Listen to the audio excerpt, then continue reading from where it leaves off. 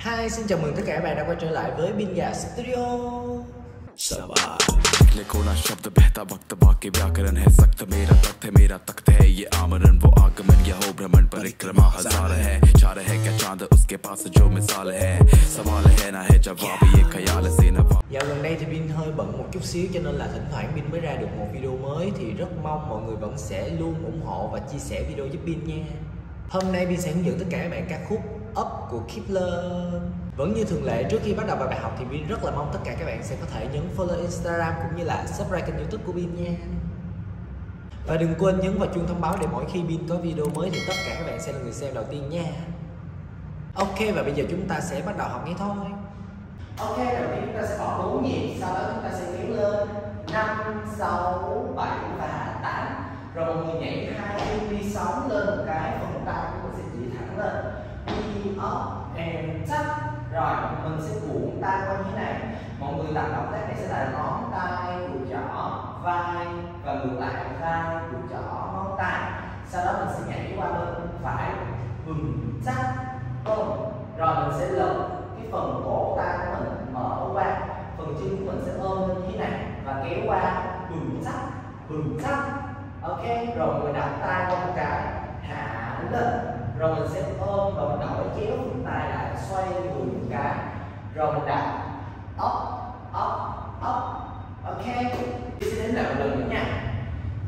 Năm, sáu, bảy, tám một, hai, ba, tám, bốn. Năm, sáu và bảy, và tám. Một, hai, ba. Úp qua, và đi. Năm, sáu, bảy, bỏ tám.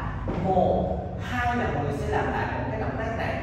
Ở lời hai, mình cũng làm lại phần này luôn nhưng mà cái phần nhảy vô mình sẽ không úp vô nữa, mà mình sẽ đổi qua thành từ rainbow cho nên là mình sẽ mở phần này ra giống như cái cầu vòng đó. Mở ra, rồi sau đó mọi người sẽ khoác cái tay của mình như thế này. Phần chân mình sẽ làm móc lên móc lên. Rồi mọi người trở về phía bước mở qua một, hai ba bốn rồi mọi người làm lại động tác cũ up up up rồi mọi người ok mình sẽ đến phần đầu cho đến đây sau đó chúng ta sẽ tiếp tục tốc độ chậm nha. Một, hai, ba, bốn, năm, sáu, bảy, và tám. Một, hai dùm dùm phát bừng lơi. Bừng bắt bừng bắt một ấp qua, hè, xoay qua. Năm, sáu, bảy, tám. Yên một, hai ba và bốn và lơi hít and hít and bùm tắt một hai ba bốn up up up hold nhẹ ok rồi thì chúng ta sẽ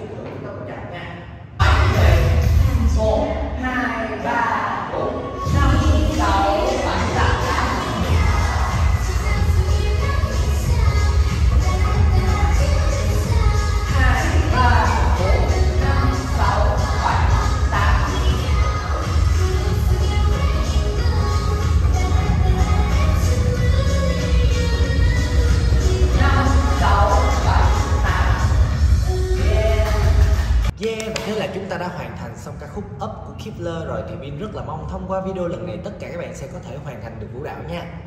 Nếu trong quá trình học mọi người có cảm thấy khó khăn hoặc là muốn Vin làm video hướng dẫn mới nào thì hãy comment ngay bên dưới để Vin có thể biết nha.